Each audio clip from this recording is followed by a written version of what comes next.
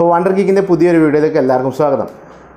ഞാൻ ആക്ച്വലി ഇന്ന് വന്നിരിക്കുന്നത് ഒരു ഇൻഫോർമേറ്റീവ് ആയിട്ടുള്ള ഒരു കണ്ടന്റുമായിട്ടാണ് ഒരു ഒന്ന് രണ്ട് മാസം മുൻപ് എന്റെ ഫേസ്ബുക്ക് അക്കൗണ്ടിൽ എന്റെ ഒരു സുഹൃത്ത് ഒരു പോസ്റ്റ് ഇട്ടു. ആക്ച്വലി എന്താണെന്ന് വെച്ചാൽ ഫേസ്ബുക്കിൽ ഒരുപാട് ഫേക്ക് പ്രൊഫൈൽസ് വരുന്നുണ്ട്. അതുവഴി അതുവഴി ഒരുപാട് സ്കാമൊക്കെ നടക്കുന്നുണ്ടെന്ന് പറഞ്ഞിട്ട്.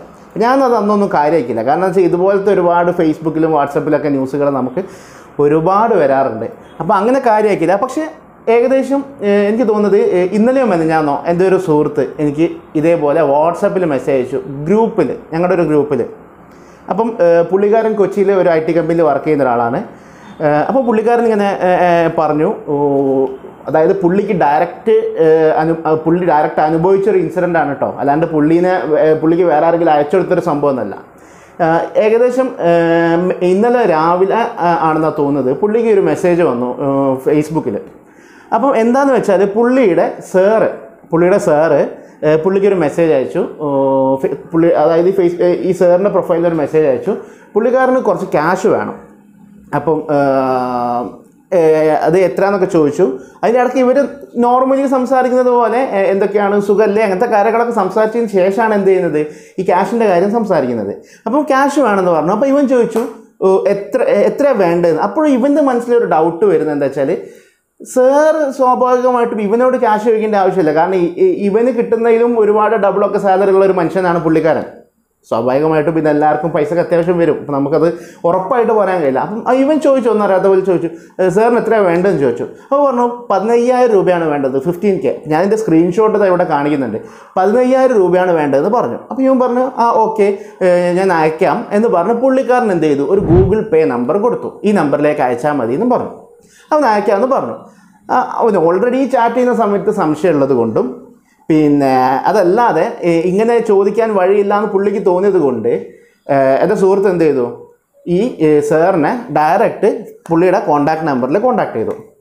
കോണ്ടാക്ട് ചെയ്ത സമയത്ത് പുള്ളിക്കാരൻ പറയുന്നത് ഞാൻ അങ്ങനെ ഒരു കാര്യം ആവശ്യപ്പെട്ടിട്ടില്ലാണ് അങ്ങനെ ഇവൻ ഡൗട്ട് വന്നിട്ട് ഈ പുള്ളിയുടെ പ്രൊഫൈൽ നോക്കിയപ്പോൾ അതിലാകെ ഇരുപത്തെട്ട് ഫ്രണ്ട്സേ ഉള്ളൂ.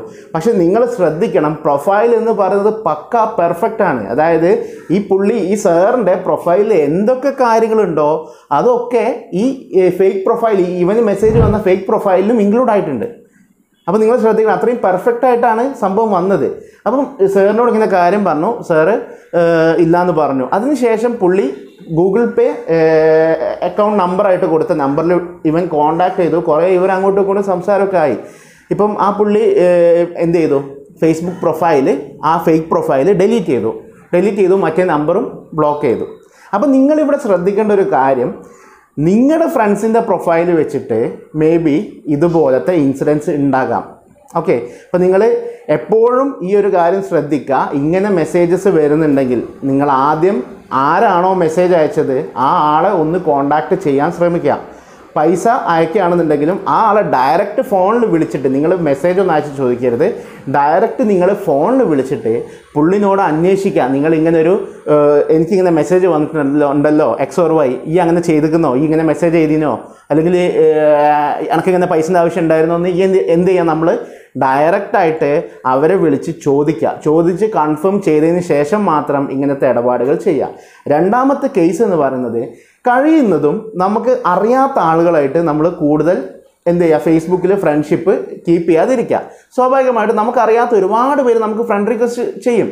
ഒരുപാട് പേരെ ആഡ് ചെയ്തിട്ട് ഇപ്പോൾ നമുക്ക് അയ്യായിരം പതിനായിരം ഫ്രണ്ട്സ് ഉണ്ടെന്ന് കാണിച്ചിട്ട് നമുക്കൊന്നും കിട്ടാനില്ല. അപ്പോൾ നമ്മൾ ചെയ്യേണ്ട ഒരു കേസ് എന്താ വെച്ചാൽ നമ്മുടെ നമുക്കറിയുന്ന ഫ്രണ്ട്സ് അല്ലെങ്കിൽ ആ ഫ്രണ്ട്സിന്റെ സർക്കിളിലുള്ള ഫ്രണ്ട്സ് അവരെ മാത്രം എന്ത് ചെയ്യുക മാക്സിമം നമ്മൾ നമ്മുടെ ഫ്രണ്ട്സ് ആക്കി കീപ്പ് ചെയ്യുക അല്ലാത്ത ആളുകളെ നിങ്ങൾ മാക്സിമം അവോയ്ഡ് ചെയ്യുക അതല്ലാതെ നിങ്ങൾ അതിലുപരി നിങ്ങൾ ഇമ്പോർട്ടന്റ് ആയിട്ട് ചെയ്യേണ്ട ഒരു കാര്യം എന്ന് പറഞ്ഞിട്ടുണ്ടെങ്കിൽ നിങ്ങൾക്ക് ഇങ്ങനെ ഒരു മെസ്സേജ് വന്നാൽ നിങ്ങൾ അവരെ കോൺടാക്ട് ചെയ്ത് ചോദിക്കുക. അത് തന്നെയാണ് നമുക്ക് ഇതിൽ ചെയ്യാൻ പറ്റുന്ന ഏറ്റവും വലിയൊരു കാര്യം എന്ന് പറയുന്നത്. പിന്നെ നിങ്ങളുടെ ഫേസ്ബുക്ക് പ്രൊഫൈൽ നിങ്ങൾ സെക്യൂർ ആക്കുക. അതായത് ഒരു നിങ്ങളുടെ ഇപ്പം ഞാൻ നേരത്തെ പറഞ്ഞതുപോലെ നിങ്ങൾ നിങ്ങളുടെ ഫ്രണ്ട്സിനെ മാത്രം കൊണ്ട് നടക്കുന്ന ഒരു പ്രൊഫൈലൊക്കെ ആണെന്നുണ്ടെങ്കിൽ നിങ്ങൾക്ക് എന്ത് ചെയ്യാം? നിങ്ങളുടെ പ്രൊഫൈൽ സെക്യൂർ ആക്കി വെക്കാം. അതായത് നിങ്ങൾ എന്ത് പോസ്റ്റ് ചെയ്താലും നിങ്ങളുടെ ഫോട്ടോസ് ആണെങ്കിലും പ്രൊഫൈൽ പിക്ക് ആണെങ്കിലും ഒക്കെ നിങ്ങളുടെ ഒരു സുഹൃത്തുക്കൾക്ക് നിങ്ങളുടെ ഫേസ്ബുക്ക് സുഹൃത്തുക്കൾക്ക് മാത്രമേ കാണുള്ളൂ എന്നുള്ള രീതിയിൽ നിങ്ങൾ എന്ത് ചെയ്യുക? നിങ്ങളുടെ പ്രൊഫൈലിനെ സെക്യൂർ ആക്കുക. ഇങ്ങനെയുള്ള കാര്യങ്ങളൊക്കെ നമുക്കിത് ചെയ്യാൻ പറ്റുള്ളൂ. അപ്പം നിങ്ങൾ ചെയ്യേണ്ട ഒരു കാര്യം മാക്സിമം ഈ ഇൻഫർമേഷൻ എല്ലാവരിലേക്ക് എത്തിക്കുക. ഓക്കെ അത് ഞാൻ പറയാനുള്ളൊരു കാരണം ഞാൻ ആദ്യം എന്ത് ചെയ്തു? ഞാൻ എനിക്കൊരു സാധാ ഒരു പോസ്റ്റ് വന്നപ്പോൾ ഞാനത് കാര്യമാക്കിയില്ല പക്ഷേ എന്റെ ഒരു ഫ്രണ്ടിന് ഇങ്ങനെ ഒരു സംഭവം ഒരു ഇൻസിഡന്റ് നടന്നപ്പോഴാണ് ഞാനത് സീരിയസ് ആക്കി എടുക്കുന്നത്. അപ്പം നിങ്ങൾ എന്ത് ചെയ്യുക നിങ്ങൾക്ക് മാക്സിമം ആളുകളിലേക്ക് നിങ്ങളുടെ സുഹൃത്തുക്കളിലേക്ക് ഈ ഒരു ഇൻഫർമേഷൻ നിങ്ങൾ പാസ് ചെയ്യുക ഓക്കെ. അപ്പോൾ ഇത്രയാണ് എനിക്ക് ഈ വീഡിയോയിൽ പറയാനുള്ളത്. ഇപ്പോൾ കുറേ കാലത്തിന് ശേഷമാണ് ഞാൻ ഇങ്ങനെ ഒരു വീഡിയോ ചെയ്യുന്നത്. അപ്പം ഇനി അങ്ങോട്ട് ത്രൂ ഔട്ട് നമ്മുടെ ലൊക്കേഷൻ വീഡിയോ എല്ലാം ഉണ്ടാവും. അപ്പോൾ നിങ്ങൾക്ക് വീഡിയോ ഇഷ്ടമായിട്ടുണ്ടെങ്കിൽ ചാനൽ സബ്സ്ക്രൈബ് ചെയ്യാൻ മറക്കരുത്. നമുക്ക് അടുത്തൊരു വീഡിയോയിൽ കാണാം. അതുവരെ ബൈ.